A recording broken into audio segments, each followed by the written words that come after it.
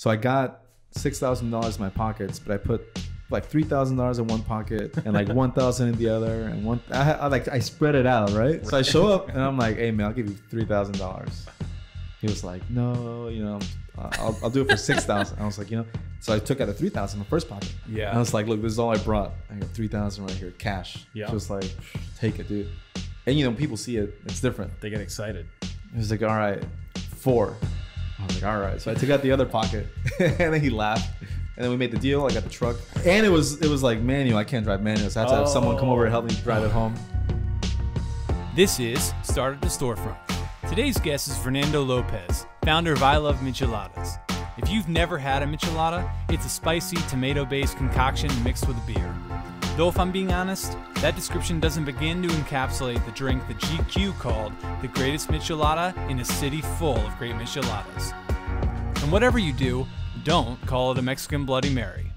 So listen in as we cover everything from dealing with imposter syndrome, making a Michelada mobile from an old VW van, to Fernando's dream of one day getting his product into Applebee's nationwide. Now, back to the episode. Welcome to the podcast. We're here with Fernando Hey. Lopez I'm of I here. Love Micheladas. Thanks for coming on. Thanks for having me, dude. Let's talk about what this is. So people love people for people who don't know. Yeah, So I, I have to explain this. We have listeners from all across the country. let's do it. Some have never heard of a michelada. Tell them what it is. I'll tell them that, that uh, they might not have yet, but in five years, the whole country will hear about it. I love that. Uh, michelada, it's a spicy beer cocktail. It's just a beer cocktail. Okay. In Mexico, to me, like the quintessential, the, in the simplest form, a michelada is beer with lime and some sort of rim. And then on top of that, then you make it as complex as you want. So we have our own two recipes. We have the red that I brought and the OG green. And the OG green is the original one. The OG green is more savory, sauce, sauceful, more like deep, a deeper flavor. I didn't know there was a green one. Yeah, this is like the more friendly. It's lighter, crispier, Red red tomato flavor. tomato, yeah, more tomatoey, but neither one tastes like tomato. Okay. I one of my biggest pet peeves is going to a restaurant asking for a michelada and getting like Bloody Mary mix in a beer, because tomato is a blending agent. Like as an ingredient, it, what it does is blends flavors together. Uh huh. So when you add just tomato with beer, all it does is you're kind of just taking away all flavors, and you're just getting like watery, tomatoey, watery flavor. I didn't know that. Yeah. So then, like, what Huh. the, what the tomato does in the michelada mix is it, kind of blends the flavors together, the citrus, the sauces, like the saltiness. What else is in it? What else is in the michelada besides? It's the way you make it at home. I mean, think of how you make it at home. You have your sauces, your spices, salt, tomato juice. This one uh, doesn't have any clam juice. Our original one does, Okay. but this one also there. This one has anchovies, so it's not exactly vegan. Okay. Uh, we have a vegan one also. You can find on our website. And how did you start the business? Were you guys doing it at the restaurant? It started from the some- restaurant. You know, we've had the restaurant for 25 years. When we took over the restaurant, we were rebranding everything. One of the things we've always sold at the restaurant is the mole. Yeah, the mole is amazing. Yeah. and So we we bought the domain I love mole. And we're and it used to be the Guelaguetza. And we were talking about branding earlier. Yeah. How like I don't really believe in like names that much anymore. Sure. Because Guelaguetza is such a weird word, but like giving our, our website used to be theguelaguetza.com. So like Oh. imagine giving that out, right? Yeah. where it's like T H E G U E Yeah. L A G another G U E. So then we bought ilovemole.com. Once we had a domain, we were like, all right, let's rebrand our mole, put it online. We got on Shopify. I think like within we are one of the first Shopify stores, or at least you know it was super new. Yeah. Like I, I would ask everybody like, have you heard of Shopify? Have you heard of Shopify? And nobody would know about it. And now they're like the household name. It's crazy. But we were so we got on Shopify, and when we started, we would people will, would would buy the mole Mhm. from like you know Nebraska, and we would have like five sales a week. So I would handwrite a letter to every customer. Yeah. I'll be like, "Dear, thank you for your mole. Yeah. here's your mole from you know Fernando of the Guelaguetza family." Yeah. Send it out. That slowly started becoming bigger and bigger until like I couldn't really do any more handwritten notes. Yep. I remember one day we came out in an article and we had 150 orders in one day. Wow. So we had to send all those out. And then, you know, it kind of like stayed, not those numbers, but like it was visible. Yeah. It was cool. Yeah. So then from that, it was like, okay, what else can we kind What of you package? Yeah. Because you can only get the restaurant so full. You can only fit so many people. Right. But so then on the product side, it was a, a way to kind of like grow beyond the restaurant. Yeah. So then one day we were hanging out at the restaurant talking. I think we were talking about the murals that we did outside. And the bartender came up and he was like, "Hey, somebody wants to buy the michelada mix that we use here at the bar." And you guys were making it yourself at the bar. Yeah, we always have. We, you know, it. that was the OG Brown, Yeah. and we we were always we, that was a staple of the restaurant. Okay. So people really like it. They were like, "Oh, I want to just take the mix." So we're like, "All right." Wow. The guy was like, "I have some empty tequila bottles. We can just fill that up." Uh, yeah. And we were like, "All right, tell him like twenty five dollars." Because Yeah. that's like a ridiculous number, right? Like if they if he wants it at that price, then you know. And it was called in, in line with like you know the Is that a ridiculous number? not, not, not I don't not- have any No, no. I think at, at the moment, at the moment, I, we thought it was now considering now now it's a deeper conversation about prices and Mexican food and everything, right? Sure, sure. But like we, it was just more in line where it was like that's the the margin, that's the the the, the upsell, right. and then you get about ten per bottle, Yep. so it's about twenty five dollars. So he buys it for twenty five dollars. So he buys it for twenty five bottles, and then more people were buying it at twenty five dollars. Okay. So it was like, okay, if these people were willing to buy it for twenty five dollars, yeah. I'm sure outside of the restaurant we can sell a lot more for you know a more reasonable retail price. Yeah. And this is before. I mean, there were literally no michelada mixes in the market. There were no cups. There was nothing. was nothing this? existed. Oh, man, two years before the cups existed. It's like whatever that year was. Uh, Uh, Let's see. So if Spotify is a new player, this is probably Shopify. 10 Shopify, sorry, eight to ten years ago, I would say, yeah, probably 2012. it was around there, probably 2012, between 2012 and 2015. Yeah. So we were, you know, the thing is that once we kind of like got it, say to market, the product out to market, we had the product at, at the restaurant, it was there. We made a lot of mistakes that, you know, like now I wouldn't have done. Okay. Like what? What happened? Like we, because the price was, mm, I think, $10 at first. Okay. So we wanted it to look like a $10 product. When we rebranded the mole, what we did was we put it in glass jars and we made it look like what it was worth because it was worth a lot of money Yeah. but people didn't sort of see that it wasn't conveyed Yeah. because we were selling it in like plastic bags so we had to make it look like what it was Sure. so we uh, you know it was like okay let's do the same thing with the michelada Yeah. but it glass doesn't travel well right. it doesn't ship well Yep. so already you're increasing your shipping costs your transportation costs And most mixers, people are also not buying in glass, right? yeah, mo- Uh, most mixers and also just like it breaks a lot sure. you know It's expensive, it's it's heavy. expensive it's heavy Yeah. just the weight the weight's a big issue Yeah. Totally. So you know that's one thing. So you know by the time we fixed everything, by the time and we weren't really paying a lot of attention to it. It was just kind of like a side project we are doing. Sure. So by the time we got this product ready, there were already the cups, there were already those things, and it was like, oh, okay, now it seems like we're just kind of following the trend. Mm-hmm. So it was just a few years because you know we're slow with it. Uh, we were just kind of like redoing the the restaurant, we were rebuilding the bar. So then at the same time, it was like, oh, let's build a Miche Mobil, just to kind of help promote this thing. Yeah. And uh, How'd you do that? What'd you buy? You bought a food truck? Yeah, talk to us about that. I, I looked that up ahead of time, and I'm just fascinated by it. So the Miche Mobil, okay. So I think I forgot I forget what year it was. It was one of the last, or not, not one of the last. It was a LA Street Food Fest. I don't know if you're familiar with that event, but we we participated very often. Yeah. And one year we were there, and there was a point where you know, there's so many food events.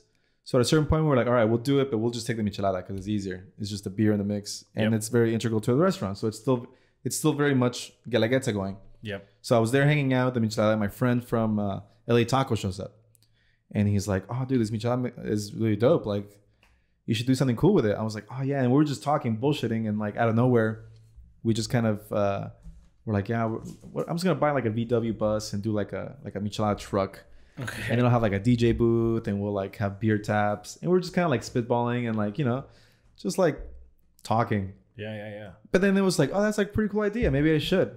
So then I started looking on Craigslist and all these things, VW buses. Mm-hmm. And originally I wanted the one with the V, like the quintessential, but those things are expensive. Yeah, they are. The Super expensive. So then I, I landed on this one. It was on sale down the street from the restaurant for like $6,000. So I was like, damn, that's a lot of money. So I got $6,000 in my pockets, but I put like $3,000 in one pocket and like 1000 in the other and one I, I like I spread it out, right? Right. You're like, this is all I got. Yeah, yeah. So I show up and I'm like, "Hey man, I'll give you $3,000." He was like, "No, you know, I'm like I plan to give this truck to my kids." Oh, there you go. It's Hitting them with the oh. emotional yeah, story. and I'm like, "Okay, but you have it on Craigslist for sale." I don't know. Right, right, right. So I don't really believe you. So he's like, "You know, I'll, I'll do it for 6,000." I was like, "You know." So I took out the 3,000 in my first pocket. Yeah. And I was like, "Look, This is This all is I like brought. a TV show. Yeah. Yeah. Yeah. And I was like, look, this is all I brought. I got three thousand right here, cash. Yeah. Just like, take it, dude. And you know, people see it. It's different. They get excited. Yeah. So it was like, Yeah. he was like, ah. He was like, all right, four. I was like, all right. So I took out the other pocket, and then he laughed.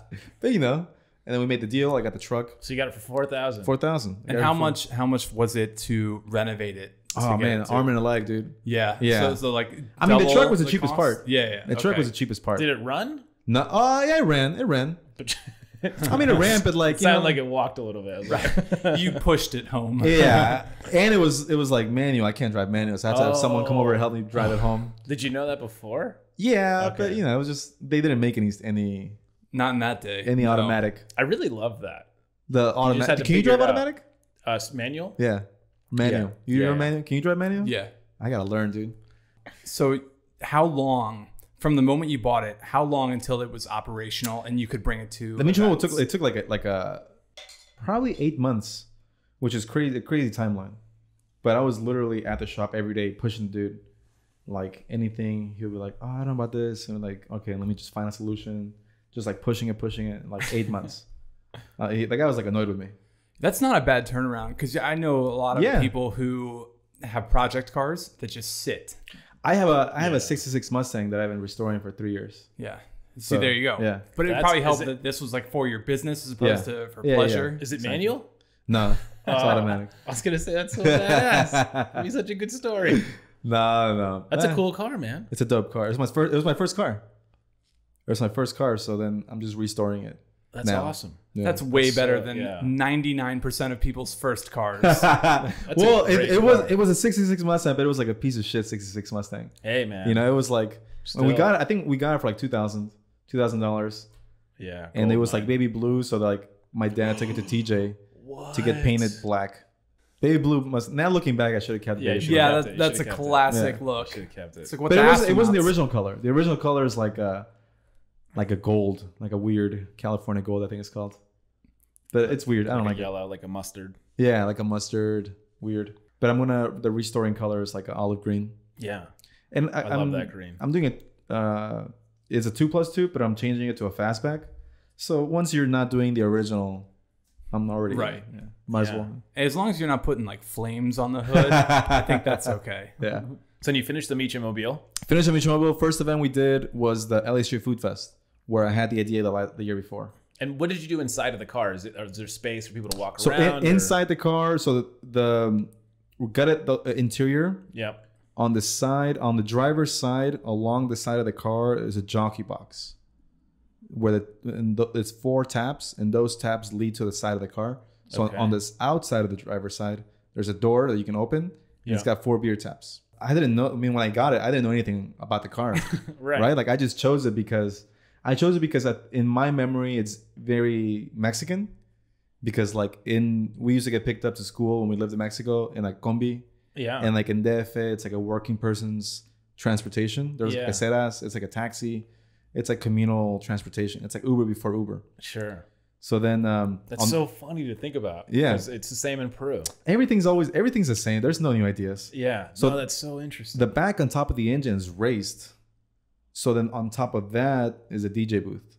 So the DJ when he's playing is looking towards the engine towards the back. yeah. But to fit the DJ, we had to cut the roof, and it hinges open like a book. And on the inside of the of the of the roof, once it's open, there's a TV, and two speakers swing out. So it's it's like a DJ booth slash beer tap That's so dope. and like a TV. Refrigerator?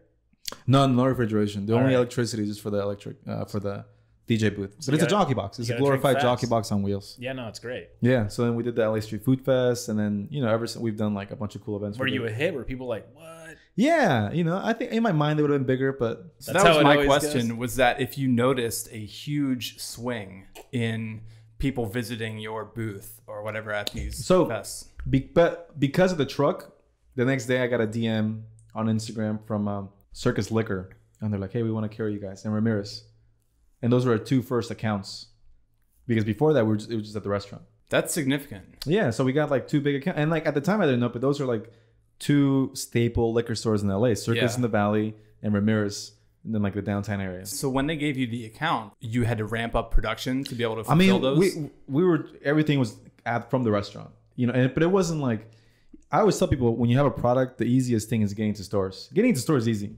Selling the product is hard, right? Right. So then like we got into these stores and we would go every week to like Circus and one week Circus, one week Ramirez with the Miche Mobil.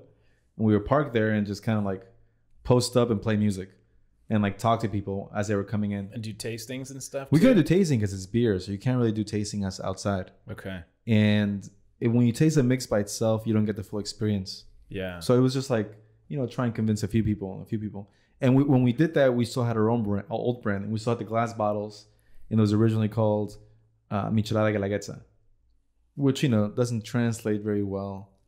It translates at the restaurant because right, but if you don't we know it, build it, Yeah. right, right over years and years, right. and we it could have worked for the Michelada if we wanted to build it over It would take a long Another time 10 to- years. Yeah, you can you can shorten that by making it a little more obvious. yeah. So then I love what you said so- though. so you said getting into stores is easy. Yeah. Right? It's like selling. selling is That's hard. the hard. It's like the same thing when you open a store. It's like Yeah, opening, opening is easy. is, is hard in the moment. It's hard at but the moment, but you don't realize how You're easy it was. oh, this is so easy, Yeah, and you're like, no one's coming inside. yeah.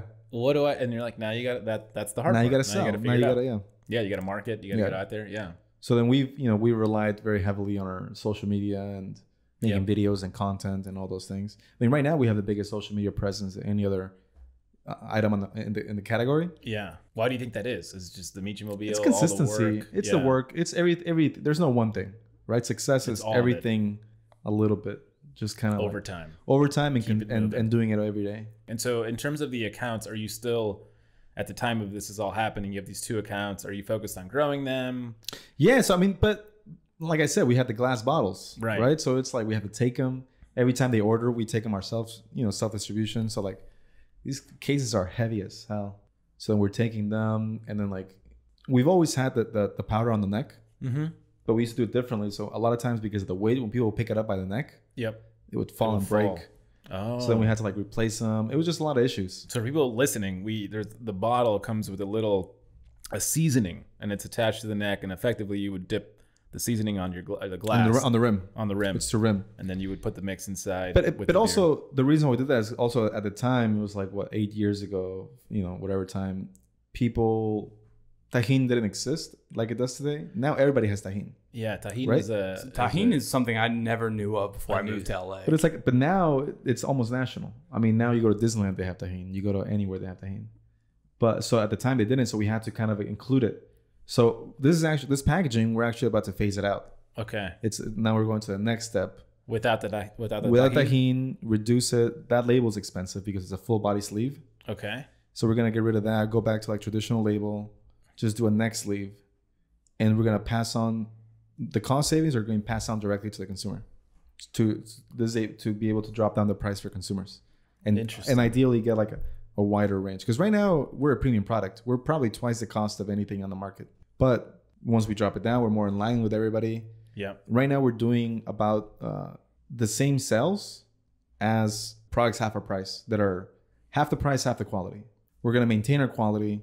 right, We're not gonna be half the price, but like yeah. You get more in line with that. So for those who may not know what Tajín is, it's like a seasoned salt. It says yeah, it's like it's it's uh ground chilies mixed in with salt and citrus. yeah. So was that hard, or or like how did that partnership?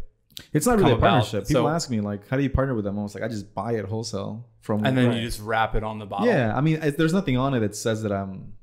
I'm not like you That's know. interesting. I would have just assumed that you and Tajín were in cahoots with No. each other. no. Well, and the Tajín we only use for the red one. For the OG brown one, we make our own salt. Okay. and then we uh, we package now we like everything looks a lot more packaged now when we started it was like in plastic it was like coke bags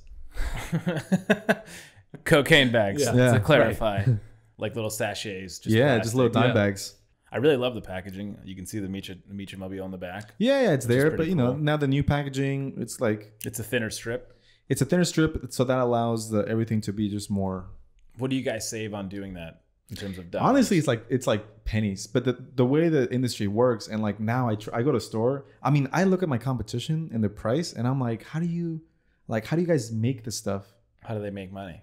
not not just how I mean I know they make money. They have to make money. Or it's a capitalist kind of you know. man, a lot of people don't do the math. Well, I mean, look, at least they've been around for long enough for it has to make some sort of money. yeah.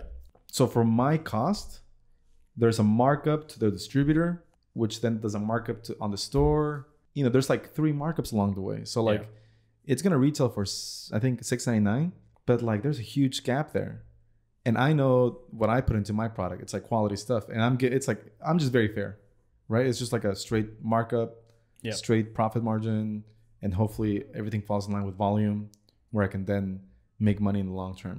But I'm like, man, what, like what kind of ingredients must other people be using? So from the Circus Liquor and your other account, how did you then? What was the next step to expand? Oh, just like there? very slowly, just knocking on doors and stuff. And we got into Northgate, you know, Oh, same thing. Northgate Market. Northgate Markets, Okay. and they Yeah. have about 50 stores in LA. But it was with the old thing, so that, you know, so then it wasn't selling very well because it was like I think I think at the time it was actually twelve dollars because it was more expensive. So then we did this whole repackaging. We brought we we did this, brought it down to eight ninety nine, and then things started moving along. Then we got to Vallarta, we got to Shakey's. I actually have the red one because of Shakey's.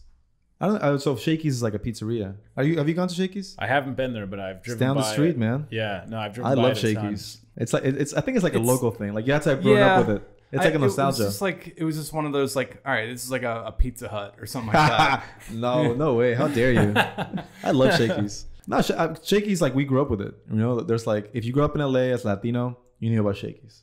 Shakey's was one of the first pizzerias who started who advertised on Mexican television. They were one of the first like Americans, like company, local companies to really like bet on the Hispanic market. Yeah, And they had this quintessential commercial where it was like a family at Shakey's, and then like the grandma's there, and the kid's like, "Abuelita, te sabes la última papa mojo?"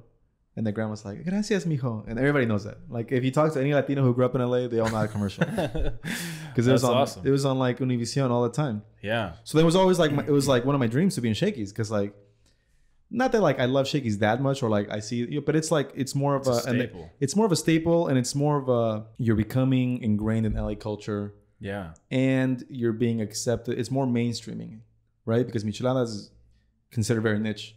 So it's like, okay, how do I mainstream this? Because that's the long term success, Yeah. right? You, like niche is like cool, but like, and also you see the way that the U.S. is growing. Like my my pitch for the micheladas to like people is always like on the business side as a business mm-hmm. is right now the Mexican population is the fastest growing market in the US. Right now in the US, there's more quesadillas being made than peanut butter and jelly sandwiches. There's more salsa being sold than ketchup. But along with the growth of the Hispanic market, we're not just selling to Mexicans, we're selling to the people influenced by the Mexican culture. yeah, The same way margaritas were a very niche Mexican product 10 years ago, I've gone to Chinese restaurants with margaritas now. The culture influences the greater culture. yeah. And that's how things become mainstream.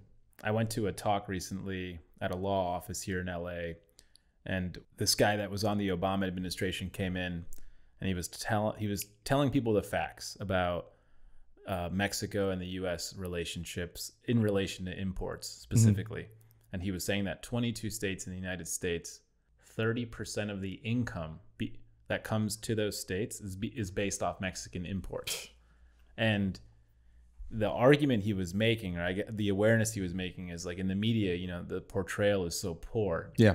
and he was trying to say, but in reality, we're pretty. The U.S. economy and, and states that you would never even think of, like in the Midwest, even Yeah. are dependent on Mexican imports.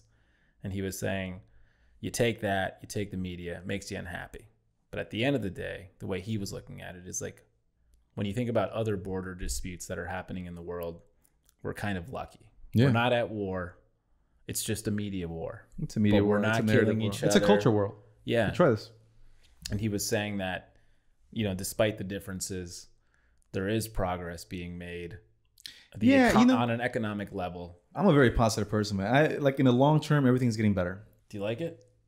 So I'll be upfront with you. Normally, I don't like micheladas, and it's not my favorite drink. Because you but haven't had is- a good one. That is one of That's actually pretty good. that. That's the best one. It's because you I'm haven't had a just good I'm not just pandering or whatever. No, I'll tell That you is why. the best. I'll tell you I've why you had. haven't had a good michelada because everywhere you've had a michelada, all they do is add Bloody Mary mixed to beer. And I hate Bloody Marys. Yeah. that- I don't like Bloody Marys. to- to So the reason. reason the reason that's good is it, it almost tastes um I hate I don't even know if this is the right word but it tastes real like it tastes like an organic-y versus when I had them before they taste like juicy I, I like a don't, juice and that's the thing. It's like when I normally have uh, Bloody Mary or michelada, I just taste tomato juice Yeah. and I can't stand it. But that That's one, not- it was more seasoning and spice and aroma as opposed to just here's some tomato juice coupled with whatever else Yeah. is in here. So th- right now, that's what I'm battling. I'm battling like people's perception of what a michelada is.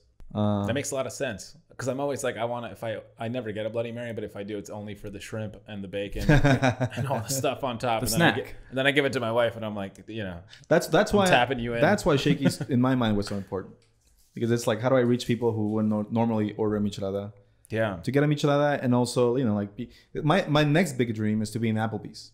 okay, Not because I love Applebee's, but because Applebee's is such a quintessential American company. right. It's like almost like satire American. but you know what's funny about Applebee's? They probably have like ten different flavors of margaritas. They do. They do, right? There's like They a do. blue margarita, and yeah, yeah. yeah, and they have 2,000 locations across the U.S. Yeah, so it's a good way to introduce the Yeah, the population the to general market, that's and that's how you know, yeah, to- be that kind of like first It's happening first in the vegan community, right? Right now, where it's in the like vegan the vegan community. So Dunkin' Donuts has rolled Yeah. out the vegan side, the Yeah. Impossible Burger meat, McDonald's. and so you think about these huge companies introducing vegan products to your average consumer, Yeah, to the market, the mass and that's market. yeah. Are you talking to Applebee's?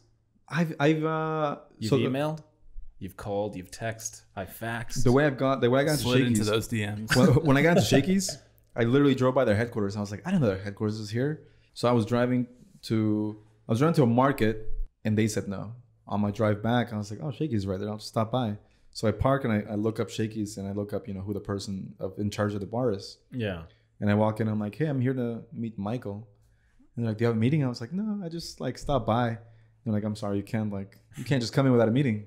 You gotta like call or email him and all stuff. I was like, all right, well here's my mix, here's my business cards. I'll try. And I'll call every day, but like the older a lot of these big companies yeah, that you assume get like a million emails, they probably do. So like their voicemails are usually like, how you've reached whoever. Uh, if you have questions about procurement or being a supplier, email email us here." And it's like an email that like everybody sends her things, and you get lost. So I would call once a week, send an email once a week for like six months. And at the six month mark, I get a call from him. He's like, "Hey, it's uh, Michael from Shakey's. I'm calling him just to your michelada." And I was like, "Oh man, that's dope. How did you?" like my emails finally got through. He was like, "Oh, uh, one of my managers was telling me that we need a michelada, and I saw your bottle on my on my desk, so I called you." So it was like not even from the emails; it was just from like that one visit. yeah. And so for Applebee's, you know, I'm trying to do the same thing. I'm like That's sending awesome. product, and like I did get a, I, I did get a, a hold of the guy once, but when he picked up, it was almost like he accidentally picked up. Mm. But he talked to me for a while. He gave me some advice. So I'm just trying to like you know, it's a long it's a long game. It's a long con. I would imagine that it, it might get easier the more accounts that you have. Yeah, the bigger you are, the more leverage you you. have. Yeah. You know, like everything, it's like money. The more money you have, the easier it is to make money. Right now, we have about 200 accounts.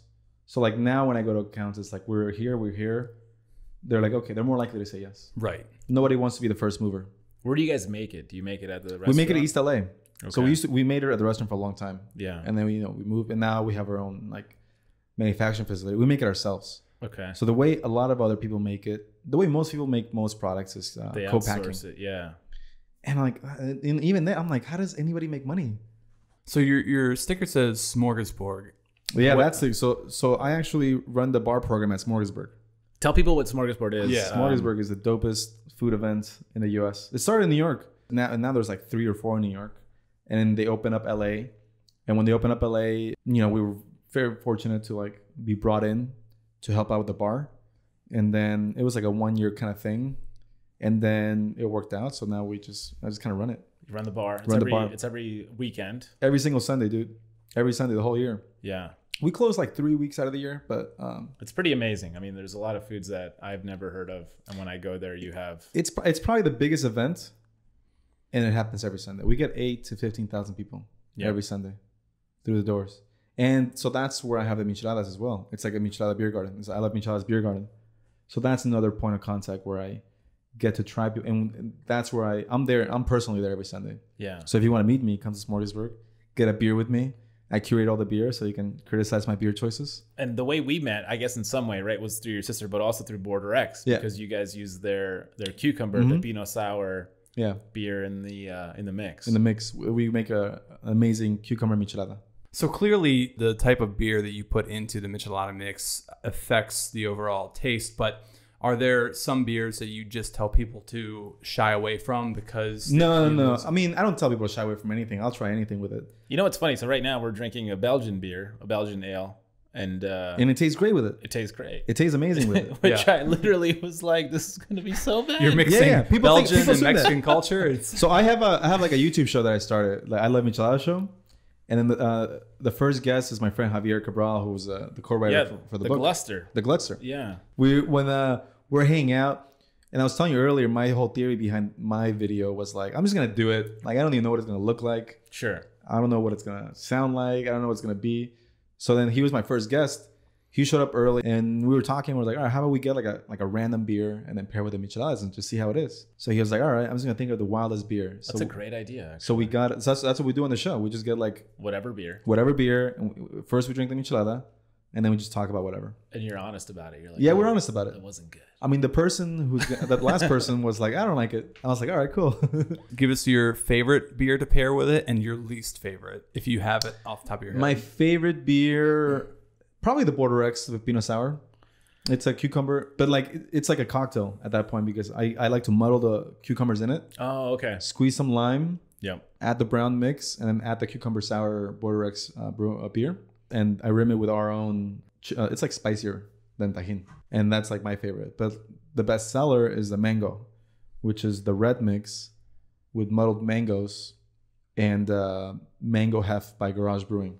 Mango hef. I haven't had that. It's really good. I mean, the, the beer's it's good by itself, but it's like amazing with the michelada. Why do you think that is? Is it just The like michelada draws out the flavors, like like the pepino. I like the pepino beer all right, but Yeah. with the with the mix, it it really draws out the cucumber flavor. So a lot of things that we've been talking about today, I would consider. So so some people view what you're saying as like an educational entrepreneurship, right? And so you're kind of like, I bought this car Mhm. and then I converted it, and it became like this marketing thing. Yeah. You're not talking about it like a strategy. You're talking or a tactic. You're talking about it like you just being you. So another one is you got rejected from Applebee's. You stop. You leave your product. Six months later, boom, you got an account. Well, that's how it is. You know, you just gotta do it. Is that how you think about it? Is that That's how, how I you think about approach it. all? You're just kind of like, let's just see what happens. Even with the videos, you're kind of like, yeah, yeah. Okay. Because I think over planning it sometimes stops you. yeah, It's just what works for me, sure. right? Yeah. Sometimes when I over plan things, I'm a I'm a perfectionist. yeah, So like that's why I used to do a lot of videos. I used to do a lot of video editing, a lot of content for the micheladas.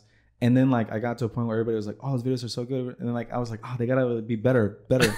and then it stopped me because at that at that point it was like, yeah. I gotta get like a camera and like lenses, and I gotta edit it, and I was like importing into After Effects and doing all these crazy things. So like it, I made it so hard for me for myself, right. where I like now I just don't do it as much as I used to. That's so important. So now I'm going back. I'm like, all right, I'm just gonna like not worry about it and just do it. Especially now, the way the the marketing landscape is, Yeah, things are moving so quickly. Then like it doesn't matter. Like no one really cares Right. that much people digest the content so quickly. so quickly, and Yeah. and they'll cut through the bullshit, right? Like right. the the production quality doesn't matter as much as authenticity. Authenticity is what sells now. I think that's why podcasts are becoming like a Because real yeah, market, because because it's long format, so people are able to like talk enough to the bullshit where they eventually like are real, yeah, and that's the part that people like. totally I mean, that's true. why people like uh, like hot takes, right? Because like the spiciness, people let their guards down and they're more real. Or Yeah. like even Fear Factor. That's why people like Fear Factor, right? Initially, because it's like it's something you can't shock put you on away. an act Yeah. when your when your fear of this snake pit in front of Exactly. you is overwhelming. Yeah, yeah, yeah. It's authenticity. We've been fed like curated or like actors or like we've been fed that for so long. It's interesting that all of that's changing so quickly. There's Yeah. an awareness around everything, around food, around what you put in your body. I mean, you look at I like mean- people. The biggest people on like social media are people who just don't don't care and are just like just do it. who's your favorite person to follow? I don't. I don't know. Everybody. I just scroll. Like so, uh, it gets depressing sometimes. Where I'm like, I wish I was this authentic, or like I wish I wish I gave his little fucks. I think about that a lot sometimes when I post because I'm like, why am I thinking about this? Let Yeah, that's what happens it, to me. right? I overthink. I mean, I haven't posted anything on my personal Instagram for so long because I overthink everything. yeah. And I'm like, all right, I'll post it later, and I that later never comes. Do you have a team that you that you work with? Not for my personal one. No, I mean for um, the micheladas. Yeah, yeah, we have, we have a team. It's like uh, me and Christine, and uh, you know we have Jennifer and uh, Gabby from Camilla Creative, that we work with. At what point were you like, this is a real company? Like, at what point Oh did you, did you get to like, oh my goodness, this is like taking more of my time, or we have a lot of accounts? a couple of years ago. I mean, and even then, maybe like one or two years ago, it was just uh, In your head though, what was what was that like? Were you like, oh, this is this is legit now? Or, in my head, I was like, oh, I got, I'm like, this is like a thing. I got to treat it like a startup, where it's like you know, like day and night, kind of die by it and just make it work do you ever feel the imposter syndrome of it all? all the time. I think we all do. I don't Yeah. know. Do you? Oh, dude, I was at dinner last night, and this is all we talked about. My buddy just sold his company, huge acquisition. Kudos. To He still him. feels like an imposter. He feels like he tricked everybody into deals it. with it all the time on the daily, and so we were both talking about it. We were talking about the reality of what that's like and Is he- is he brown? No, I was talking to a friend of mine. We had dinner. I had dinner at my house, and I had uh, my friend. She owns a, a restaurant, and another friend. She owns a restaurant, and another guy. He owns a restaurant, and we were just talking, right? And then three of us were talking about the same thing, how we feel, and I was talking about my personal experience, how I I feel a lot of things that stop me, my needing that need to physically do work, sometimes stops my growth for sure. because I I put my effort into dumb shit that I could easily outsource. this is what I tell Nick every day. Yeah. This is gonna get real right now. So I've So been telling Nick he needs a yeah. Nick Jr. Yeah. So we Because it stops me, right? Like I'm Right. like I'm doing all these things, I'm physically doing these things myself. Right. And then our other friend, she was like, dude, like all you guys are talking about, like she was like, you just gotta you guys just gotta like own this shit and like be like, yeah, this is what you guys like and she, and she was like, I don't know what what it is about the way you guys grew up or something. She was like, I just fucking accept it. I'm just it, you know? This is just me. And I was like, fuck, I gotta I gotta get on that level. Yeah. and she she she was like you know we as managers have two jobs delegate and follow up. And if you're doing anything else you're just wasting your time. It's hard It- though. it's tough to relinquish ownership. Of it's tough to relinquish ownership yeah. It is very especially when it's more creative. Like on your end it's more creative. Mhm.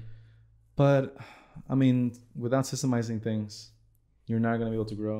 Right, because at the end of the day, you have the same amount of time as everyone else, and if that time is taken up by this task, then that task is going to go unaccomplished. or you're just going to maintain where you are right Right. which but that's, that's another conversation where it's like in our community of like people who are doing stuff yeah.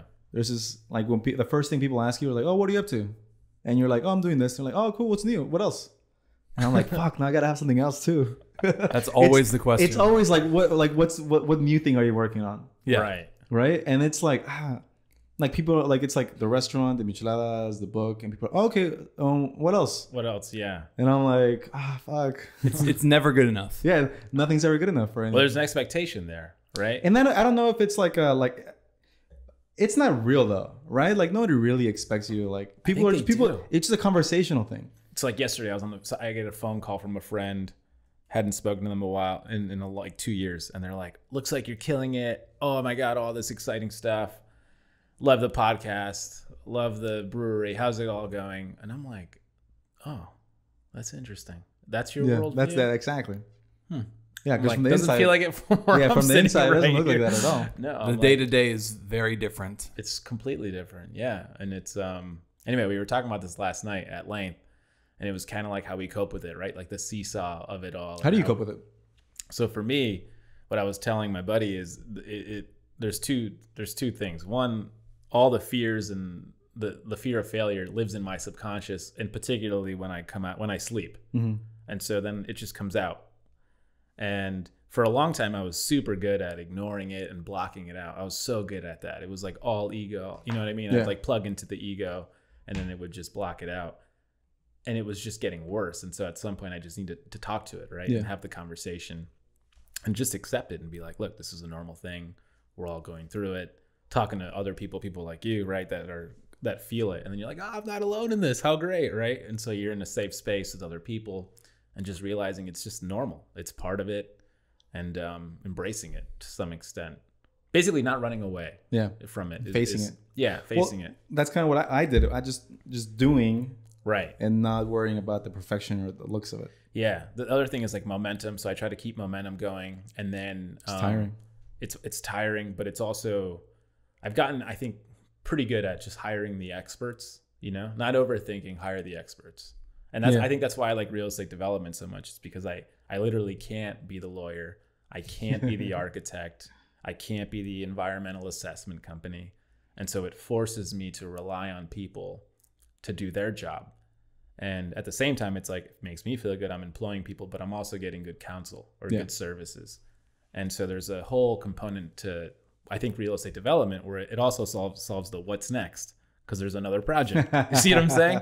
And so it's like I figured out the construct of how to check the boxes. Do you have a end place? Do you have a place where you'll be comfortable stopping? So this is so we talked about this last night too. For me, it, so everything goes back to the why you do it, the why, and and, and it's not like oh because I like it, it's so fun. It's like I love drinking. It's not. It's not that. Yeah. The why is like super personal to you, and so for me, I've just always really valued my time and being able to dictate my time. But you can do that now. I mean, like So that's a weird question though, because it's it's a weird because I you know, I mean, you can do that very easily with very little. you can and no doubt right but if you want to grow your if you want to have kids as an example like there's a there's a fiscal responsibility you have to these individuals you want to bring into the world and my whole thing is how do i maximize my time with them without having a 9 to 5 or without being in a chair all day and that is the problem i've i feel like i've solved and so the question isn't to me anyway it, when is it enough I have it now, Mhm. right? It's what changes around you that then requires a system to optimize to, let's say, two kids, three kids, no kids, right? And so it's always the balance. Yeah. And I think as an entrepreneur, you're always thinking, I want this, so let me optimize the system to get me that. And sometimes it's just vanity. Sometimes people are like, oh, I want the car. Or Yeah. like, I want this mansion. And so they work really hard to do that. For me, it's none of that. It's Yeah. just, it's just my time. It's like, how do I maximize my time? I'm trying to strip. Yeah, when I got married, I uh, one of the things that changed inside of me, I like I was like I gotta strip away all the want inside of me Yeah. and just focus on like the realness, like the communication, the time, time spent with people, time spent being present, Yeah. and like stop worrying about money in a weird way. Like you know, but I'm still working a lot, so it's not like Right. so I'm trying to figure out what my end thing is because right, right now, you know, we cut back and right now we're living on like so little money, but still doing the same amount of things and still being happy and still doing all those things. So we're just saving and saving and saving. But why? why are you saying? I don't know. You see, even listen, Yeah, I'm sa- I'm saving right now for like I want to I want to get into like real estate investing. Yeah. So I'm I'm saving capital Got it. because I'm trying to systemize my life where I can then get like the residual incomes and do all those things. Right. You're trying to create passive income for yourself. exactly. Right. So you could have your time back. Yeah. Yeah. But I could even have my time back now. It's just like, But you require more. The system requires more. The Yeah. wife requires more. The family requires more. yeah, but it never stops. Never stops. it only gets worse. Yeah, like your wife's not gonna one day be like, oh, I want less time from you. right. Or your kids or Yeah. your family. Family needs change. I mean, you have a lot of siblings. Once they have kids, you know, then you have a nephew, nieces. Yeah, yeah. You want to spend time with them. That's what happened for me. I have two nephews, and all I want to do is make sure like I see them as much as I can. They're in Massachusetts, and so it goes back to the time equation. Systems here, cool. I got to optimize so we can go back to the East Coast four times a year and be present, right? Be part of their lives. That's like important to me. It's an ever evolving thing. It is. Yeah, Yeah. there's some days where I fantasize about like moving to Ohio and homeschooling kids. Yeah, sure. I mean, that's Don't go to Ohio. Just avoid it. I have friends of mine who are entrepreneurs that homeschool their kids. Yeah. and they've created that like their own oasis. That and there's lifestyle. a community. I mean, that's in any any city, any When I was younger, you know, like every I think like everybody who went to public school, you would think homeschool kids are weird. Now I'm now I understand it more. I was talking to someone the other day about how in popular culture, having a good life and being stable and do all these things was like looked down upon.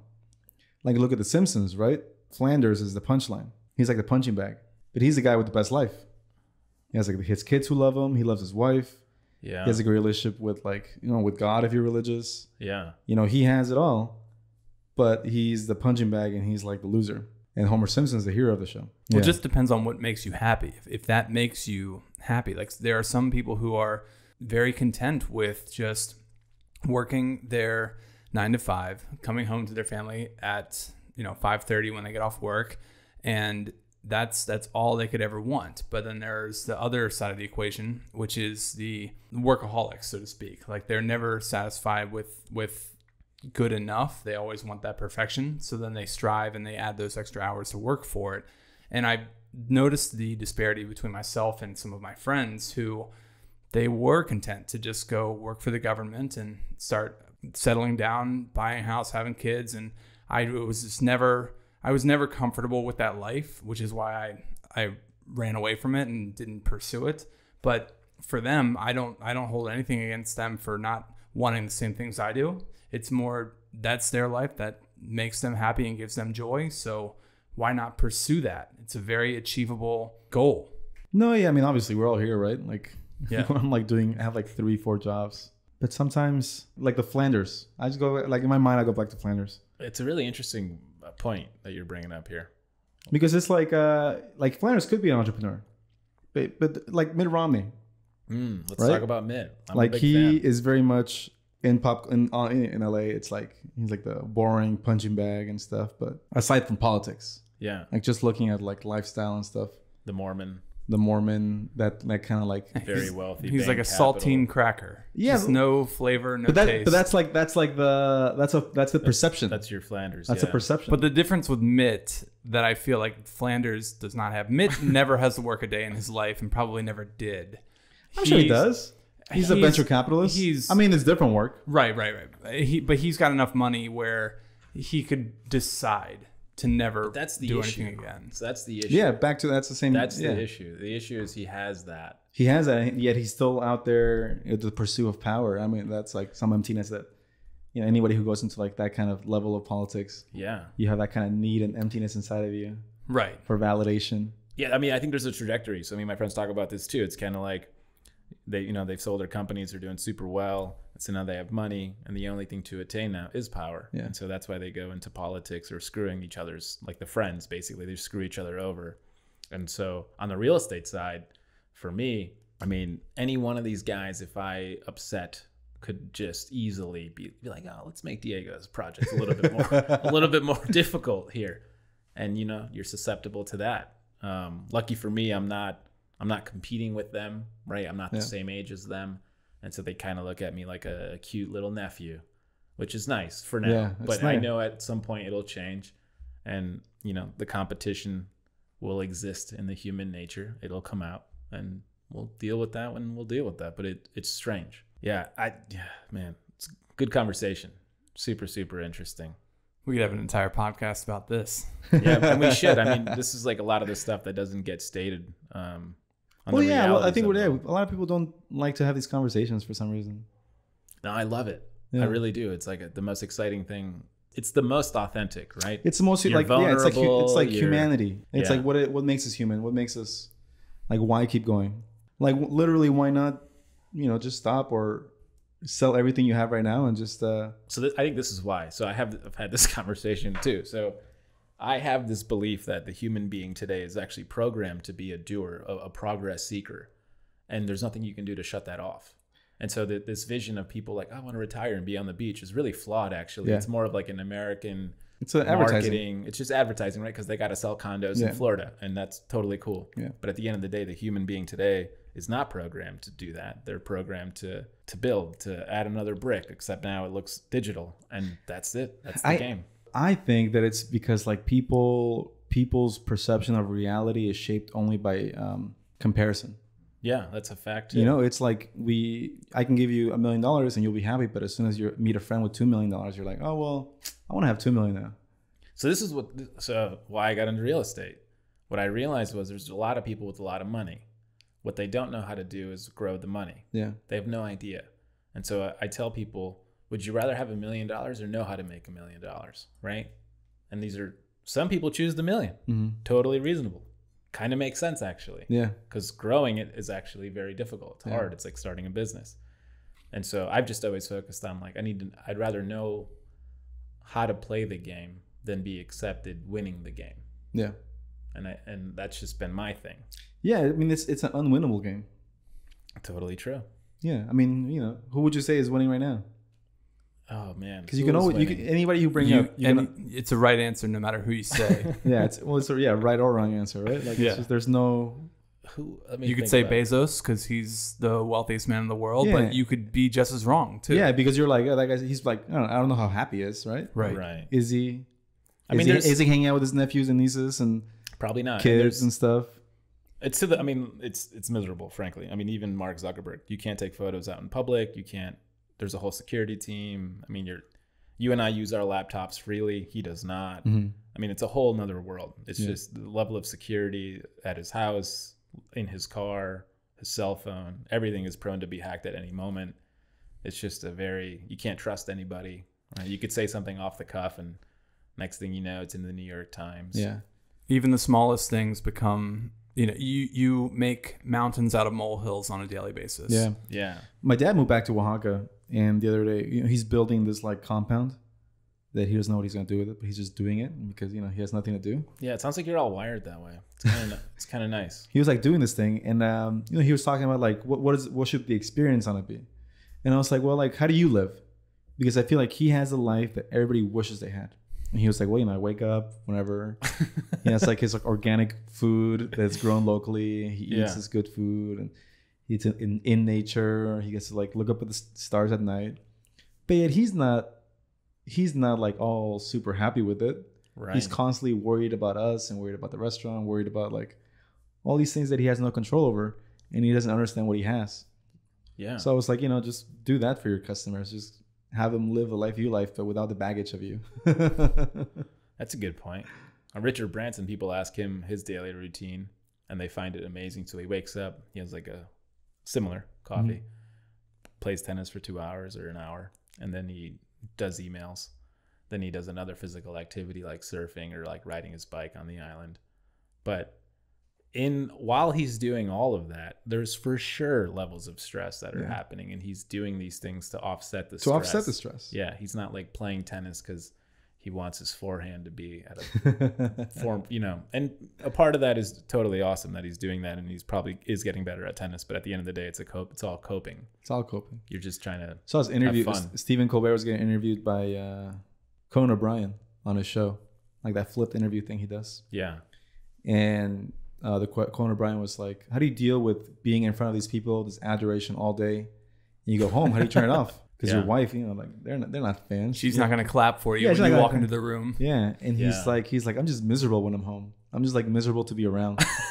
and Conan O'Brien was like, me too. Everybody has these private lives. Alicia Keys posted this great video on her Instagram about when she was named the Grammy host, and her I think she has like a young kids, like under four years old, and so they're running around. And she walks in, she's like, "Mommy has amazing news," and the kids are like, "I'm hungry, I'm hungry." Like they don't, they don't, I don't care. care. And then she tells them, she's like, "Oh, I'm gonna be hosting the Grammys," and one of them's like, "Did you say grannies? like what? Like doesn't care Yeah. at all." You know, there's perspective in the moment Yeah. for both ends of it. But at the same time, you know, I feel like this is this is what privilege sounds like us complaining about our existential issues. I guess so. But we all we all strive for something greater. We all crave a purpose. And what you find that in can either define you or shape your existence in this world and, Yeah. and, and the impact that you have around those or the people around you. So Yeah. some of us find it in the work that we do, others find it in family, Where do you find your purpose? creating.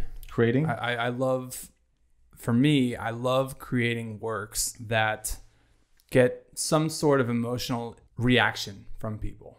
So whether that's a, a photo or a video or even just something mundane like in everyday life, but I love eliciting some sort of uh, emotion from people because I'm like I I help them find that spark of happiness. I, I help make them laugh. Like that's that's my drive. I like creating stuff. Where do you find purpose?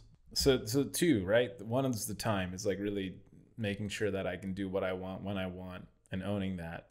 Progress is part of it. Doing cool stuff is part of it. Making money is part of it. But the other part of it is again, it gets to like I've just analyzed myself very deeply, and so I, I kind of know why I do the things I, I do. And so the other one is I grew up with no one. So we moved here from Peru, and crazy like leaving a a somewhat a country going through some bad stuff. And so we came to massachusetts and i never really had an example of someone who made it in america. I didn't have that mm-hmm. because we're new here right? So it's like where do I, where do you look and you know your doctors and you know your whatever, right? Yeah. But it's like you don't. They're not your uncle, Yeah, yeah, and so I can't talk to them and be like, "How did you make it? yeah. What are the steps? What are the steps? What's the process? What what what are the rules to this game we call the USA?" And for me, I've at some point had a revelation where I'm like, "That's what I'm solving for myself." And so if I have kids or nephews, nieces, and they're like, "Oh, Uncle Diego seemed to figure out. Let me go talk to him," right? You're gonna be like, you guys are fucked. And even if they don't want it, at least they have the example. At least they have someone in their life who's like, ah, Uncle Diego did something cool. Let's talk to him. yeah. But there's other examples too now, right? We have doctors and other people doing cool stuff. Now you have a circle of friends that you can refer them to. Right. And so I think that that that for me is the is another part of the why. It's the time, but also trying to trying to live that, trying to figure that out on the daily. The perspective is there. I mean, I keep those things pretty clear, but it's it's still not easy even having that, right? More beer? I'll have One another more? one. Yeah, yeah. Sure, let's do this is that dark stout. Oh, that's delicious. So we have like a Belgian chocolatey ale in front of us. And Fernando's about to add some of the Miche mix. Well, that's good, It's good, right? It's Yeah. great beer. but it's like light. Great It's not. It's not as strong as I thought it, it would. It's a brewery coming soon. We're not going to mention any names. We don't want to get them in trouble. This underground stuff. And so you have a YouTube video dedicated to, to, to grabbing a beer, adding Yeah, we just- mix to it, It's like this. We just talk for a while. and see it. Let's see it. Ta- try Cheers. it. Cheers. I am I am very frightened for you. Miche mix. Oh, you, you can str- smell it right away. Strong. Still tastes good. I'm not gonna lie. Still a winner? it's still good.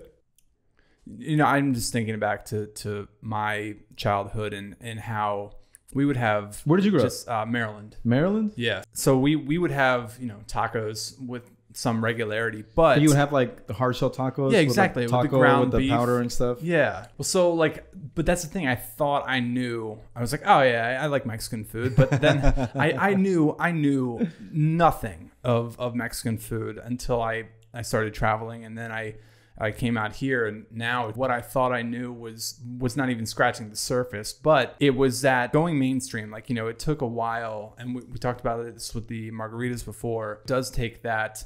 Let's make this kind of a watered down version and then introduce it to the masses, and then you can kind of introduce them to the more nuanced uh, dishes and and aspects of that culture. I don't. I don't know. I don't because this isn't a watered down version. No, no, no, I'm not. I'm not talking about your michelada. I'm just No, talking but about I know you're talking. Yeah, I know you're talking. Yeah. Like my, you know, my, when when I ta- when I tell people that I want to get into Applebee's, yeah. people laugh and they're like, "Why Applebee's?" It's like you know, your Guelaguetza uh, Applebee's. Well, Applebee's is like the most watered down version of But like like- but I- Americana. But my my argument is like, Their I- fudge I cake can't. is good. Let's be honest. Their What- fudge cake, their chocolate fudge cake. Well, I love their The cake. chocolate molten Yeah, I bake. get down with it, and Hey. also their buffalo wing, uh, boneless Hey, buffalo wing bites are dope. Applebee's is good. But like I always tell people, I can't help what they eat. But if I can make sure they have a good michelada, Right. You want to be on the menu, man. yeah, like I can't I can't help what you eat, but I can give you a good michelada. Yeah. You can Right, give if- them the best experience Yeah. that you can. Yeah, and this is an authentic michelada, but it's palatable. The, the brown one is more because that's our, our original one, and I think the original story is that so when I got into Shakey's, I got with the brown one, and I didn't I didn't have the red one. So then I got into the stores, they distributed. it. The guy who got me in, he called me up. He was like, "Hey, friend, we're having troubles. People are ordering the michelada, but when they see it, they Mm. they send it back because it's not what it, it's not what they imagine, and that's an LA problem because in Yeah. LA micheladas are red, where in Mexico they're darker.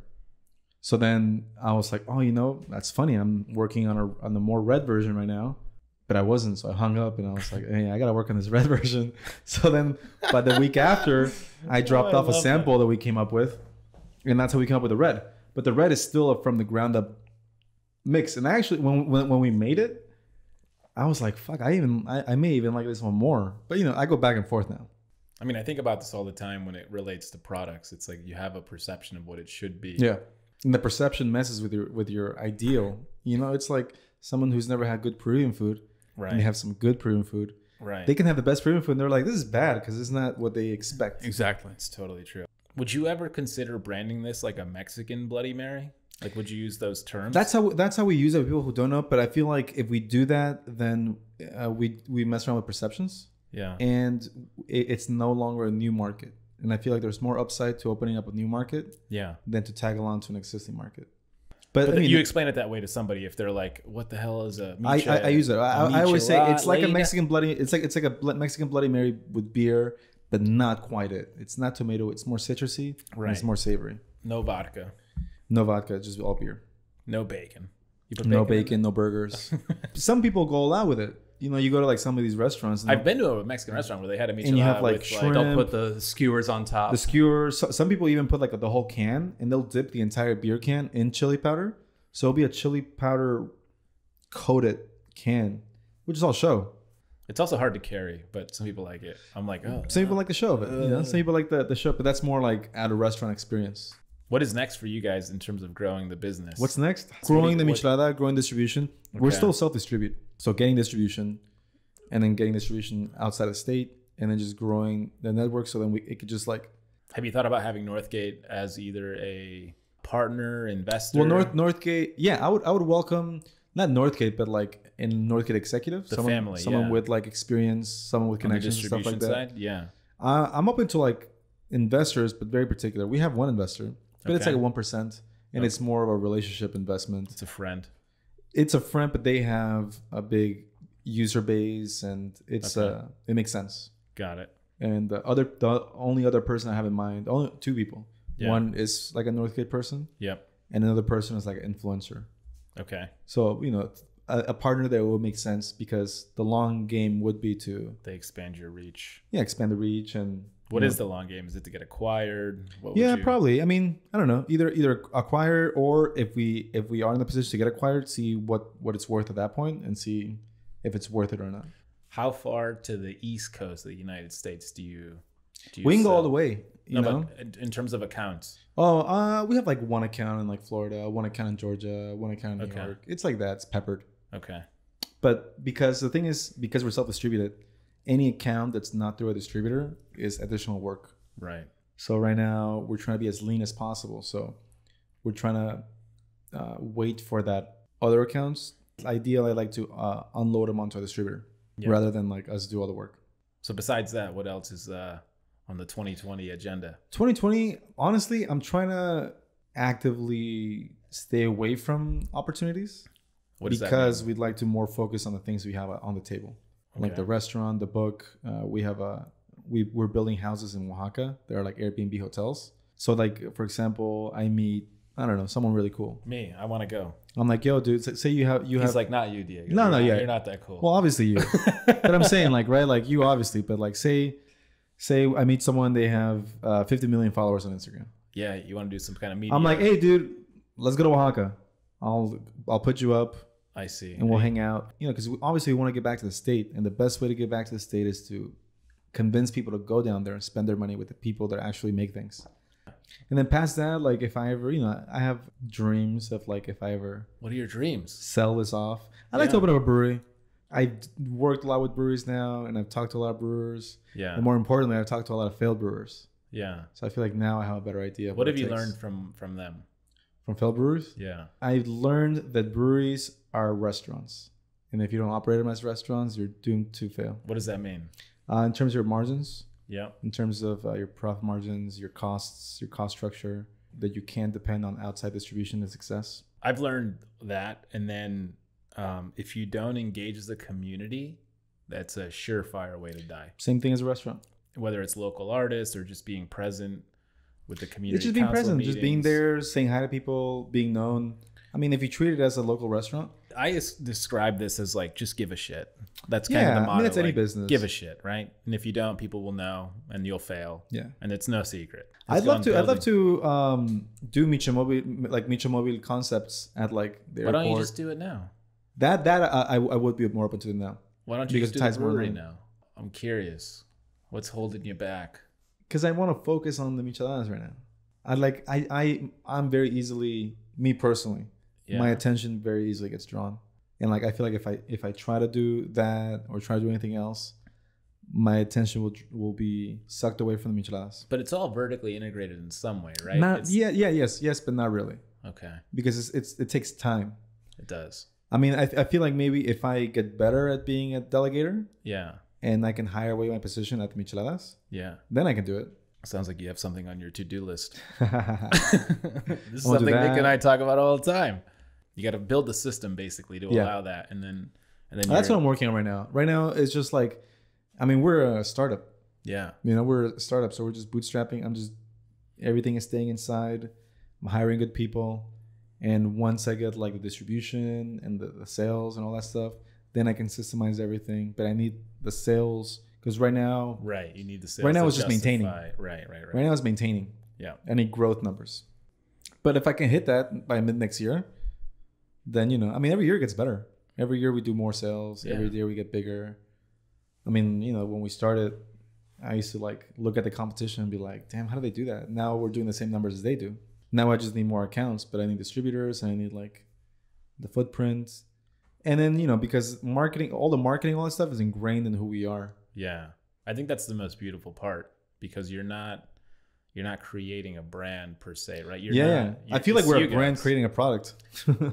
yeah, which I think is is really difficult, yeah, right? It's like imagine three of us were to pick a product today. Let's call it candles. yeah, We don't know shit about candles, but like we'd pick a look, yeah. kind of like the whole garbage disposal. We'd Yeah. be like, let's make it look this way. Let's brand it this way. You guys are the complete opposite. You're just sharing your culture Yeah. and your passion. Yeah, I mean micheladas. Micheladas are. I'm I'm bicultural, right? I'm Oaxaca, but I'm LA. Yeah. The micheladas is my LA side, and the restaurant is my Oaxacan side.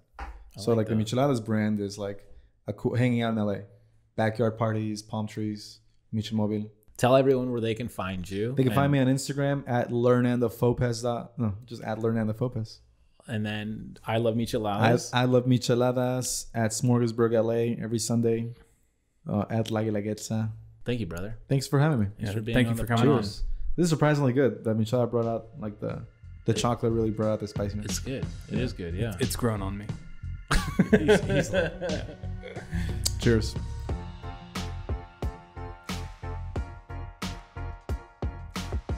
We here at Startup to Storefront would love to hear feedback from you. Reach out and let us know what you think about the show.